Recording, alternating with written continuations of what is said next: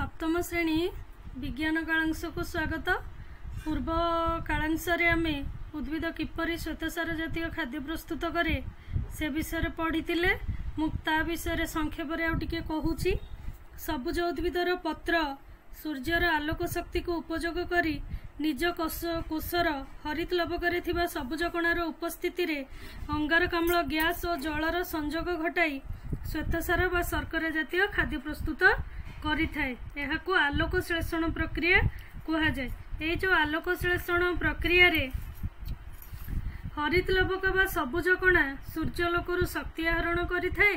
ପତ୍ରରେ ପ୍ରସ୍ତୁତ ହେଉଥିବା ଖାଦ୍ୟ ଉଦ୍ଭିଦର ବିଭିନ୍ନ ଅଂଶକୁ ପରିବାହିତ ହୋଇ ତାହାର ବୃଦ୍ଧି ଓ ବିକାଶରେ ସାହାଯ୍ୟ କରେ। ଆଲୋକ ଶ୍ଳେଷଣ ଦ୍ୱାରା ପ୍ରସ୍ତୁତ ହେଉଥିବା ଶ୍ୱେତସାର ଖାଦ୍ୟ ପରେ ମଣ୍ଡଦ ଆକାରରେ ସଞ୍ଚିତ ହୋଇ ରହେ। ତାହେଲେ ଏଇ ଯୋଉ ବିଭିନ୍ନ ରଙ୍ଗର ପତ୍ର ମଧ୍ୟରୁ କେବଳ ସବୁଜ କଣା ଥିବା ଅଂଶରେ ହିଁ ଶ୍ୱେତସାର ଖାଦ୍ୟ ପ୍ରସ୍ତୁତ ହୋଇଥାଏ ଏବଂ ଆଲୋକ ଶ୍ଳେଷଣରୁ ନିର୍ଗତ ହେଉଥିବା ଅମ୍ଳଜାନ ସମସ୍ତ ଜୀବଜଗତର ଶ୍ୱାସକ୍ରିୟାରେ ବିନିଯୋଗ ହୁଏ। ଏ ବିଷୟରେ ଆମେ ଜାଣିଥିଲେ କିନ୍ତୁ ଆଜି ଆମେ ପଢିବା ଉଦ୍ଭିଦରେ ଶ୍ୱେତସାର ବ୍ୟତୀତ ଅନ୍ୟ ଖାଦ୍ୟ ପ୍ରସ୍ତୁତି। ଉଦ୍ଭିଦ ଶ୍ୱେତସାର ବ୍ୟତୀତ ଆଉ କଣ କଣ ଖାଦ୍ୟ ପ୍ରସ୍ତୁତ କରେ ସେ ବିଷୟରେ ଆଜି ଆମେ ଜାଣିବା। ତାହେଲେ ଶ୍ୱେତସାର ବ୍ୟତୀତ ଉଦ୍ଭିଦରେ ପୁଷ୍ଟିସାର ସ୍ନେହସାର ଓ ଜୀବସାର ମଧ୍ୟ ପ୍ରସ୍ତୁତ ହୋଇଥାଏ। ସ୍ନେହସାର ଓ ଜୀବସାରରେ ଉଦ୍ଯାନ ଅମ୍ଳଜାନ ଅଙ୍ଗାରକ ଏବଂ ଶକ୍ତି ବ୍ୟବହାର ହୁଏ। ଉଦ୍ଯାନ ଅମ୍ଳଜାନ ଅଙ୍ଗାରକ ଏଗୁଡ଼ା ଗୋଟେ ଗୋଟେ ମୌଳିକ ଯେଉଁଗୁଡ଼ାକ କି ବାୟୁରେ ଥାନ୍ତି ଏବଂ ଏମାନଙ୍କର ମାତ୍ରା ମଧ୍ୟ ଆମେ ବାୟୁରେ ଜାଣିଛନ୍ତି। ଆମେ ଯେତେବେଳେ ପଦାର୍ଥ ବିଷୟ ପଢୁଥିଲେ ସେଠି ଉଦ୍ଯାନ ଅମ୍ଳଜାନ ଅଙ୍ଗାରକ ବିଷୟରେ ପଢିଛନ୍ତି। ତାହେଲେ ଏଇ ଯେଉଁ ସ୍ନେହସାର ଓ ଜୀବସାରରେ ଉଦ୍ଯାନ ଅମ୍ଳଜାନ ଅଙ୍ଗାରକ ଏବଂ ଶକ୍ତି ବ୍ୟବହାର ହୋଇଥାଏ ଆଲୋକ ଶ୍ଳେଷଣରୁ ସୃଷ୍ଟ ଶ୍ୱେତସାର ଜାତୀୟ ପଦାର୍ଥର ବିପଚନ ପ୍ରକ୍ରିୟାରୁ ବିଭିନ୍ନ ଉପାୟରେ ସ୍ନେହସାର ଓ ଜୀବସାରର ସୃଷ୍ଟି ହୋଇଥାଏ। ବିପଚନ ପ୍ରକ୍ରିୟା କ'ଣ? ଯେଉଁ ଉପାୟରେ ଶ୍ୱେତସାରର ଜାରଣ ହେଇଥାଏ। ଯେମିତିକି ଆଲୋକ ଶ୍ଳେଷଣ ପ୍ରକ୍ରିୟାରେ ସବୁଜ ଉଦ୍ଭିଦ ଶ୍ୱେତସାର ଜାତୀୟ ଖାଦ୍ୟ ଖାଏ। ସେଇ ଯେଉଁ ଶ୍ୱେତସାର ଜାତୀୟ ଖାଦ୍ୟ ସେଠି ମଣ୍ଡଦ ଆକାରରେ ସଞ୍ଚିତ ହୋଇ ରହେ।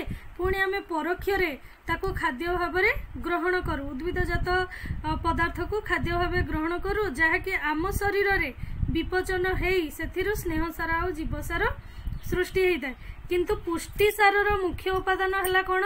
ଯବକ୍ଷାରଜାନ ପୁଷ୍ଟିସାରର ମୁଖ୍ୟ ଉପାଦାନ ହେଉଛି ଯବକ୍ଷାରଜାନ ଯାହାକି ବାୟୁମଣ୍ଡଳରେ ତିନି ଚତୁର୍ଥାଂଶ ଯବକ୍ଷାରଜାନ ଥାଏ। ଯାହାକି ଆମେ ଜାଣିଛନ୍ତି ଯବକ୍ଷାରଜାନର ପରିମାଣ ବାୟୁମଣ୍ଡଳରେ ସବୁଠାରୁ ଅଧିକ। ଏବଂ ଏହା କ୍ରିୟାହୀନ ହୋଇଥିବାରୁ ଉଦ୍ଭିଦ ଏହାକୁ ସିଧାସଳଖ ଗ୍ରହଣ କରିପାରେ ନାହିଁ ତାହେଲେ ଆକୁ କିପରି ଗ୍ରହଣ କରେ?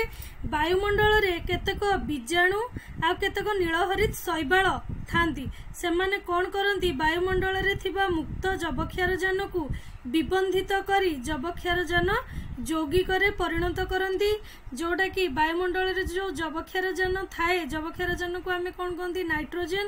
ନାଇଟ୍ରୋଜେନକୁ ସେମାନେ ବିବନ୍ଧିତ କରି ନାଇଟ୍ରସ୍ ଏବଂ ନାଇଟ୍ରାଇଟ୍ରେ ନାଇଟ୍ରେଟ୍ ନାଇଟ୍ରାଇଟ୍ରେ ପରିଣତ କରିଥାନ୍ତି ଯାହାକୁ କି ଉଦ୍ଭିଦ ପୋଷକ ପଦାର୍ଥ ଭାବେ ବ୍ୟବହାର କରିଥାଏ।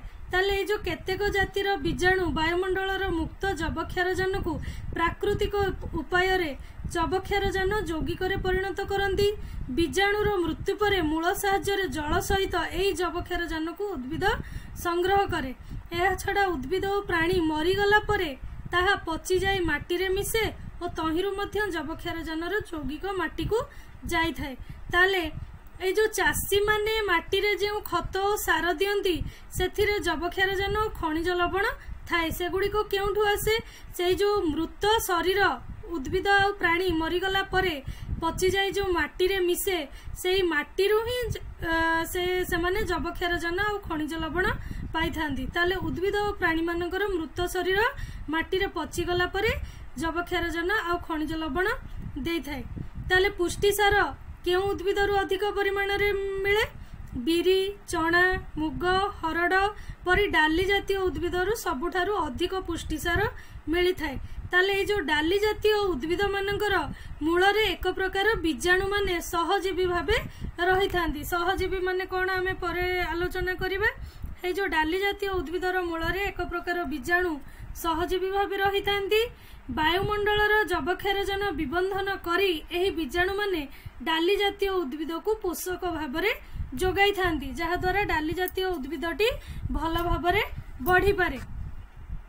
ସେହିପରି କେତେକ ନୀଳହରିତ ଶୈବାଳ ଦ୍ୱାରା ବାୟୁମଣ୍ଡଳର ଯବକ୍ଷାରଜାନର ବିବନ୍ଧନ ମଧ୍ୟ ହୋଇଥାଏ ତାହେଲେ ଏଇ ଯୋଉ ଡାଲି ଜାତୀୟ ଉଦ୍ଭିଦର ଚେରରେ ଯେଉଁ ବୀଜାଣୁ ମାନେ ଥାଆନ୍ତି ସାଧାରଣତଃ ସେଇ ବୀଜାଣୁ ମାନଙ୍କ ମଧ୍ୟରୁ ରାଇଜୋବିୟମ ନାମକ ଏକ ବୀଜାଣୁ ମଧ୍ୟ ଅଛି ମନେ ରଖିବ ରାଇଜୋବିୟମ।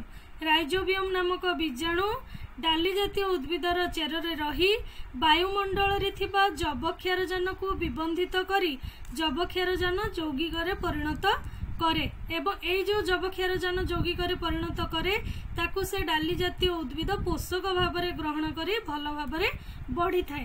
ତାହେଲେ ଏଇ ଯୋଉ ବିବନ୍ଧିତ ଯବକ୍ଷାରଜାନର ଯୌଗିକକୁ ବ୍ୟବହାର କରି ଉଦ୍ଭିଦ ମାନେ ବିଭିନ୍ନ ପ୍ରକାର ପୁଷ୍ଟିସାର ନ୍ୟଷ୍ଟି ଅମ୍ଳ ସଂଶ୍ଳେଷଣ କରିଥାନ୍ତି। ପୁଷ୍ଟିସାର ତ ଜାଣିଛ ଆଉ ନ୍ୟଷ୍ଟି ଅମ୍ଳ ମାନେ ନ୍ୟଷ୍ଟି ଅମ୍ଳ ହେଲା ଆମର ଯୋଉ ଜୀବକୋଷ ରହିଛି। ଜୀବକୋଷରେ ଦି ପ୍ରକାର ନ୍ୟଷ୍ଟି ଅମ୍ଳ ଥାଏ ଗୋଟିଏ ହେଲା ଡିଏନଏ ଆଉ ଗୋଟେ ହେଲା ଆରଏନଏ ଡିଏନଏ କୁ ଆମେ ଡିଅକ୍ସି ରାଇବୋ ନ୍ୟୁକ୍ଲିକ ଏସିଡ ବୋଲି କହିଥାଉ ଏବଂ ଆରଏନଏ କୁ ରାଇବୋ ନ୍ୟୁକ୍ଲିକ ଏସିଡ ବୋଲି କହିଥାଉ। ତାହେଲେ ଏଇ ଯୋଉ ନ୍ୟଷ୍ଟି ଅମ୍ଳ ସଂଶ୍ଳେଷଣରେ କଣ ଆବଶ୍ୟକ ହେଇଥାଏ? ପୁଷ୍ଟିସାରର ଆବଶ୍ୟକତା ରହିଥାଏ। ଏବଂ ଏଇ ଯୋଉ ପୁଷ୍ଟିସାର କୋଉଠୁ ମିଳେ? ବିବନ୍ଧିତ ଯବକ୍ଷାରଜାନ ଯୌଗିକକୁ ବ୍ୟବହାର କରି ଉଦ୍ଭିଦ ମାନେ ବିଭିନ୍ନ ପ୍ରକାର ପୁଷ୍ଟିସାର ଆଉ ନ୍ୟଷ୍ଟି ଅମ୍ଳ ସଂଶ୍ଳେଷଣ କରିଥାନ୍ତି। ତାହେଲେ ପରବର୍ତ୍ତୀ କାଳାଂଶରେ ଆମେ ଅନ୍ୟ ଉପାୟରେ ଜୀବମାନେ କିପରି ପୋଷଣ କରନ୍ତି ପୋଷଣର ପ୍ରକାର ଭେଦ ବିଷୟରେ ପଢିବା। ଆଜି ପାଇଁ ଏତିକି। ଧନ୍ୟବାଦ।